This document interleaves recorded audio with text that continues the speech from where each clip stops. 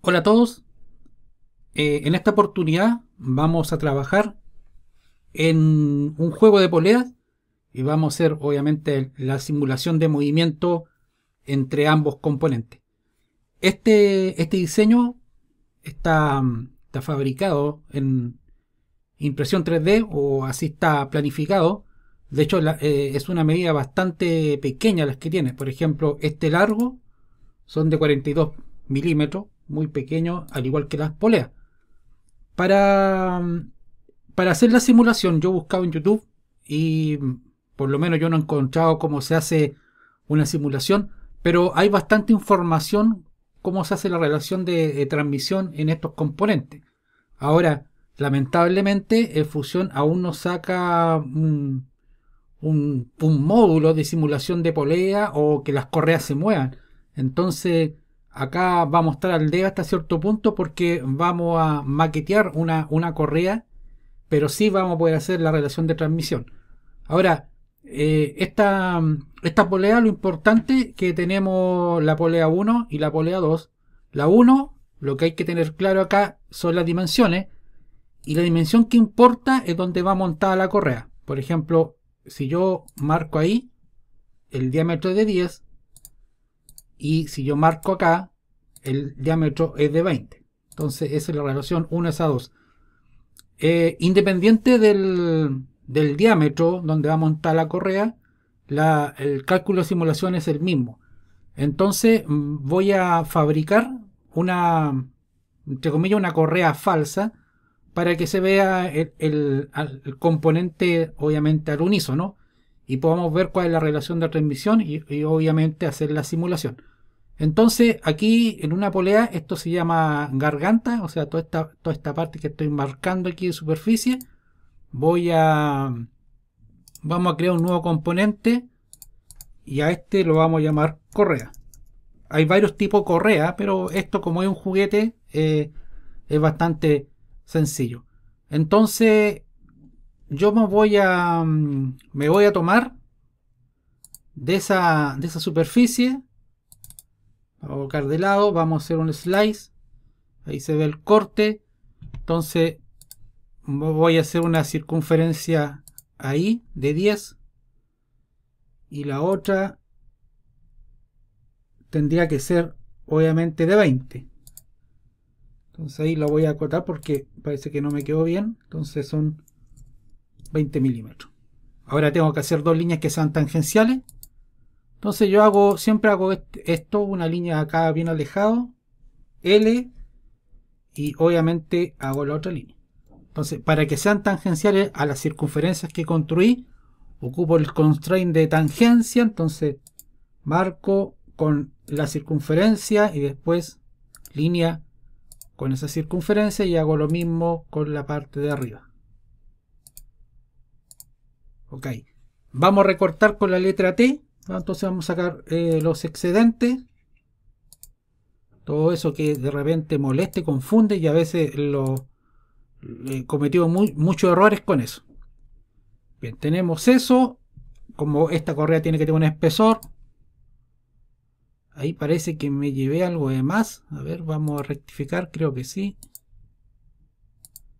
Ahí, entonces, esta parte es la que tenemos que borrar. Parece que está montado dos veces. Bueno, entonces ahora vamos a hacer un offset a ver si funciona. Ahí y acá también, fíjense. A ver, vamos a ver si borramos. No sé si debería tomarlo ahí entero. Ya, ok. Y vamos a hacer una correa hacia afuera. Da lo mismo el espesor. Vamos a colocar menos un milímetro. O menos 0,5. Algo así. Ok. Voy a terminar el sketch.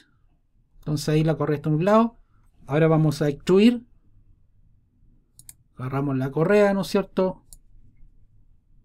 Ahí me falta un, trozo. Bueno, lo voy a colocar ahí.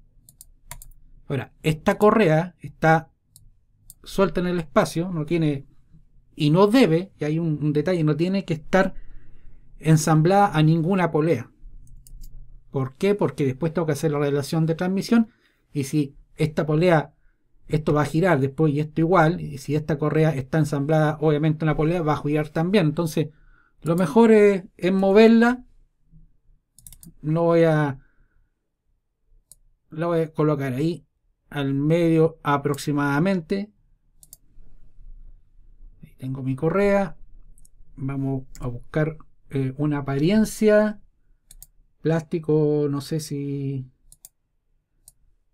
Aquí hay que bajar esto. Ahí estoy haciendo un, una bajada en material. negro texturado. Bien. Eh, ambas, ambas poleas, si yo las muevo, están con Revolut. Ahí se ve una banderita. Vamos a... Voy a sacar la correa. La correa la vamos a hacer desaparecer. ¿Qué otra cosa? El soporte. Ahí está. Tenemos eso. Bueno, todos los que son estos tornillos también. Entonces, eh, yo hice dos marcas acá, rojas. Entonces, la idea es primero hacer, eh, obviamente, la, el, el motion link. Entonces, vamos a hacer la captura de la posición. Vamos a hacer, vamos a marcar el primer revolut y el segundo revolut. Entonces, si ustedes ven acá, están eh, moviéndose a la misma velocidad. De hecho, si ustedes siguen la, la marca roja, llegan al mismo punto, ¿se fijan? Una da más mayor, mayor vueltas que la otra porque no hay ninguna relación de transmisión. Ahora si lo colocamos en reversa, contrario, ¿se fijan? Bueno, pero Acá vamos vamos a parar, vamos a colocar los 360 multiplicado por el diámetro de la polea menor, que era 10, dividido por el diámetro de la polea mayor. Entonces ahí vamos a colocar un OK. Aquí quedó mucho link, lo vamos a editar. ¿Se fijan? Entonces, obviamente, si la, si la polea menor tiene un menor diámetro, ¿no es cierto? Tienen que recorrer más veces, en cambio la mayor no. Entonces, vamos a ver cuánto recorre. Entonces, fijemos, mira, 10, 20, recuerden el diámetro, yo lo voy a girar. Fíjense dónde va montada ya. Aquí ya di una vuelta con la menor y la otra va acá a la mitad. Y cuando yo llegue acá al eje, di dos vueltas. O sea, Aquí di dos vueltas y acá di una vuelta. Esa es la relación que hay. O dividir, que es lo mismo. Entonces ahora vamos a hacer aparecer todas estas cosas. Y ahí se puede ver. Y vamos a ver cuál es el revolut que necesitamos. El revolut de, de esta pieza para hacer ese, ese movimiento. Ahí. Ese entonces, aquí yo le hago lo puedo cambiar nombre polea menor para vamos a animar el modelo ¿no es cierto? y ahí se puede ver perfectamente ya la, simulación lamentablemente la, la, correa si hubiese un módulo un, un, script esto debería obviamente desplazarse yo cometí un error al colocar un, un elemento plástico texturado entonces de repente no, no queda bien. Fíjense acá un detalle que eh, hay un salto ahí, pero eso no es que esté mal, es que no está mal porque la, relación de movimiento es la correcta. Fíjense acá.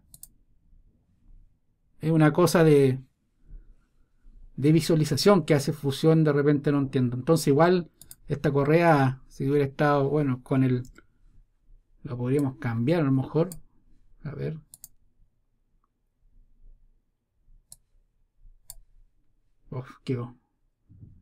Vamos, este que es regular.